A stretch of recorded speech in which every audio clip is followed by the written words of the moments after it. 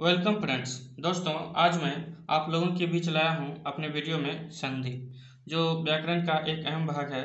तो दोस्तों, सबसे पहले जानते हैं संधि का संधि विच्छेद, उसके बाद उसकी परिभाषा। दोस्तों, संधि का संधि विच्छेद होता है समझौती, और इसकी परिभाषा है एक लाइन में, परसन्निकर्ष संहिता।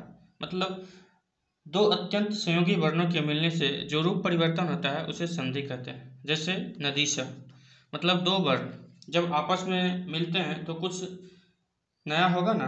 तो वही जो बन के निकलता है, वही संधि कहलाता तो दोस्तों, ये सब इसका उदाहरण है नदीशा नदीशा का संधि विच्छेद क्या होगा नदी जोड़ ईसा अब इसमें कौन कौन सा वर्ण टकराया?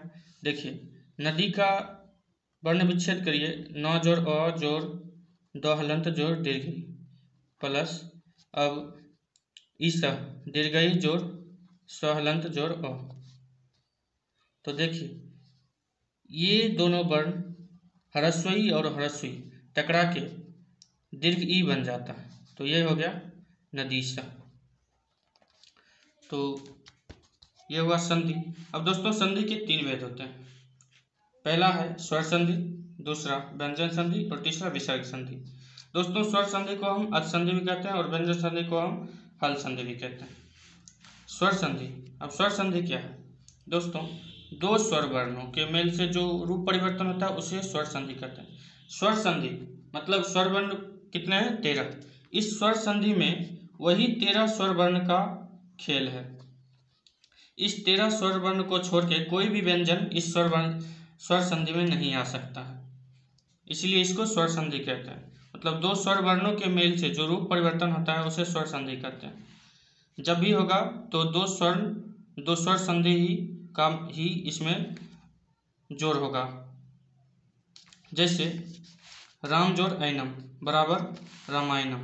तो दोस्तों, यहाँ किस किस वर्ण की संधि हुई है? चलिए वर्ण विच्छेद करके जानते हैं। राम में रो हलंत जोड़ आ ज़ोर मो हलंत जोड़ अ जोड़ ऐनम में अ हल अ य हलंत जोड़ अ जोड़ न हलंत जोड़ अ जोड़ मो हलंत अब देखिए, यहाँ तक तो राम बन गया।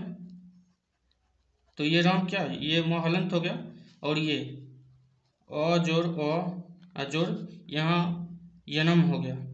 और ये देखिए दोस्तों, ये यहाँ देख रहे हैं मूर्धन दंत नौ, और ये हो जाता है मूर्धन्य नौ। तो ये नत्व विधान का सूत्र है। मतलब एक ही शब्द में र, स, ये सब रहे तो उस मूर्धन्य नौ का दंत न हो जाता। है ये नत्व विधान में आगे वीडियो में बताएँगे। नत्व विधान और सत्व विधान होता है। तो दोस्तों, आगे चलते हैं, इसमें बताते हैं ये राम हो गया, ये यनम हो गया। और बीच में यही दो वर्ण टकरा के अ जोड़ ओ बराबर आ हो जाता है। तो ये ये आ, मोहलंत आ, मोहलंत में जुटेगा तो क्या होगा? रामा, और ये भी इधर आके जुट जाएगा। रामायणम। यही हुआ संधि। इस तरह के, इस तरीके से जानिएगा दोस्तों तो संधि बहुत जल्दी सीख जाइएगा। दोस्तों, अब स्वर संधि के भी पाँच भेद होते हैं। पहला है दीर्घ संधि, दूसरा है गुण संधि, तीसरा है वृद्धि संधि, और चौथा है यन संधि, और पांचवा है आयाधि संधि। स्वर संधि है तो दोस्तों, इसमें भी स्वर वर्ण का ही खेल है। कोई भी अन्य व्यंजन वर्ण नहीं आएगा। तो दोस्तों, आज के लिए इतना ही। फिर मिलते हैं नेक्स्ट वीडियो में। उस वीडियो में बताएँगे आपको दीर्घ संधि के बारे में।